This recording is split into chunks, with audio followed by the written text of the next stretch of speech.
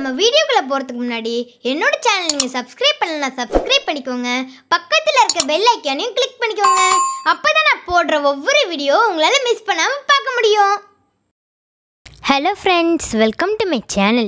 Today we are going to see a moral story. The name of the story is The Fox and the Grapes. One day a fox became very hungry. As he went to search for some food, he searched high and low but could not find something that he could eat.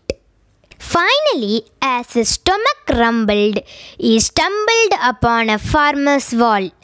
At the top of the wall, he saw the biggest, juiciest grapes he had ever seen. They had a rich purple color, telling the fox they were ready to be eaten. To reach the grapes, the fox had to jump high in the air. As he jumped, he opened his mouth to catch the grapes, but he missed. The fox tried again but missed yet again. He tried a few more times but kept failing. Finally, the fox decided it was time to give up and go home. While he walked away, he muttered, I am sure the grapes were sour anyway. Moral of the story Never despise what we can't have. Nothing comes easy.